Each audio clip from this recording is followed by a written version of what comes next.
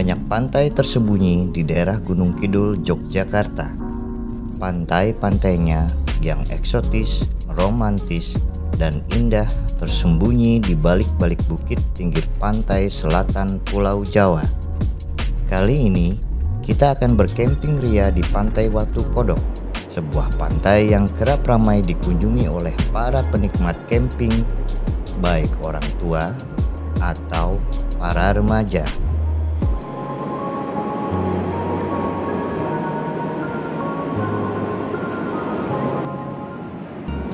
Para pengunjung yang berkemah di sini dapat langsung menikmati indahnya pantai laut selatan sambil langsung dapat bercengkrama dengan pasir putih yang terhampar di sana. Apalagi pada saat air sedang surut, kita dapat mencari hewan-hewan laut yang terperangkap di antara batu-batu karang yang ada di pantai. Tidak perlu takut kelaparan atau haus di sana. Banyak warung-warung makanan dengan menu-menu yang bervariasi dengan harga yang cukup terjangkau.